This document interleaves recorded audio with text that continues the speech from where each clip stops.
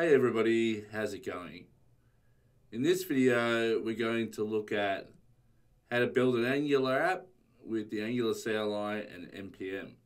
And more importantly, we're going to look at how we can use the Angular CLI to prepare our code for deployment. So let's get to it.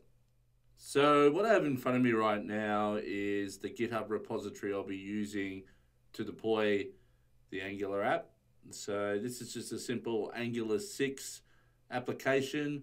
And basically what I have at the moment is I have a branch called master, but the branch I'll be using to do phase one will be the phase one branch. So if you're looking to follow along with the videos, I suggest you check out this branch here. I believe that I've got this publicly available, so you should be able to do that. If not, let me know. But I will put this information into the comments. So I've just pulled down the code and I haven't done anything else at the moment. So when you usually uh, want to build an Angular application for the first time, the first thing you'll go about doing is installing all the packages using npm. So if you've got npm installed, hopefully you just go npm i. Now this has to be in the directory of where your Angular application is sitting for this to execute properly because it needs to be it needs to be able to look up the package.json. Um, if you're familiar with Node, you would know this already. So I'm going to run this quickly and let it get all the dependencies.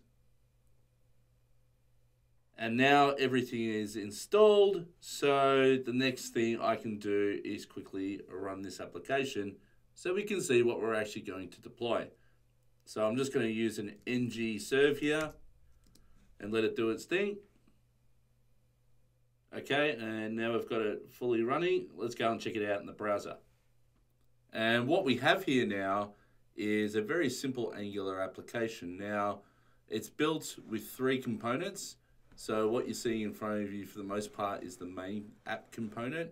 However, inside of this little box down here, we have a feature component and it's controlled by routes. So these two buttons will trigger the route. As you can see, feature two is triggered down here when I click feature 2. If I click feature 1, it's triggered the feature 1. Also up in the address bar, you'll see as I change them that the URL changes. Now this is actually kind of important because when we actually deploy this Angular app to an S3 bucket, there will be a problem that we will have to solve, okay? But for now, just understand I've got an Angular app here with two routes. And that is all there is to it. So we've got the application running, but that wasn't really the point of the video, was it? We're really here to understand how we can build an Angular application and get it ready for deployment. Now, how do we do this? Well, it's pretty straightforward. So the same Angular CLI we use to serve this content, we can also, also use to build and get ready for production. So I'm going to stop the the uh, serve here. And I'm just going to clear the screen. So in the Angular CLI, there's a build command that we can use. So if I just use ng build, it's going to build the application without any compression, tree shaking, all those funky things that we like to do, you know, bundling, minification, all that kind of stuff. And I'll show that very quickly here. Cool, so now it's all built. Now if I come over to this dist folder, which is now created, inside of here we've got our application. Now there's a whole bunch of files in here. So we've got our main, we've got polyfills, we've got runtime, we've got styles. I'm not gonna go through what all these things are because really it's more of an Angular focus to understand how all this stuff works. Just know that these are the files that are needed to run an Angular application that is not production ready so that you can debug it, right? So essentially this is used for debugging purposes. So you got your main index, and then you got a whole bunch of JavaScript files generated, some of it by Webpack, some of it by Angular, but it's very hard to read, obviously, right? And it's not really the intention of this video.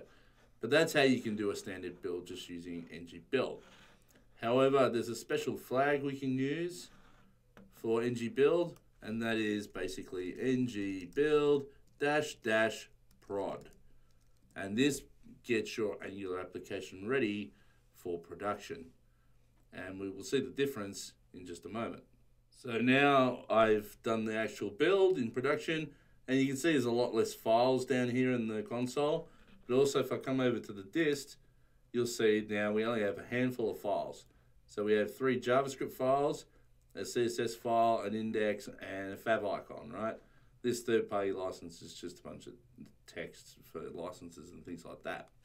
So we're not going to be looking at any of that stuff. But this is the output that we will put in our S3 bucket, okay? So just understand when you want to build your Angular app using the Angular CLI for production, you just use ng build dash dash prod. Now, I usually like to do this in conjunction with npm.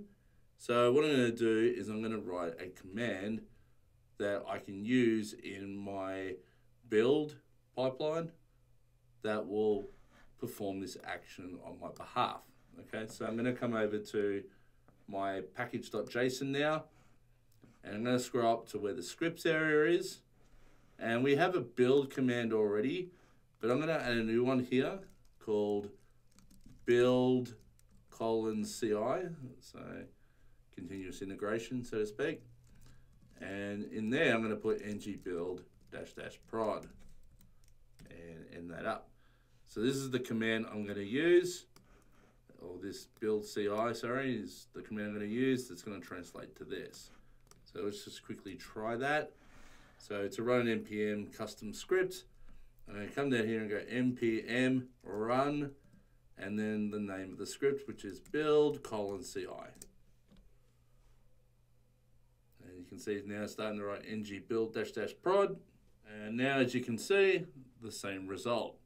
It creates that dist folder with the Angular DevOps project and then the same files, okay? So that's basically the end of this video. In the next video, we're going to start looking at some AWS features.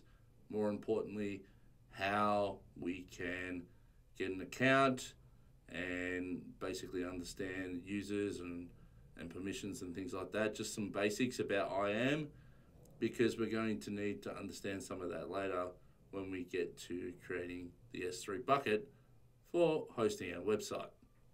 So I'll see you in the next video.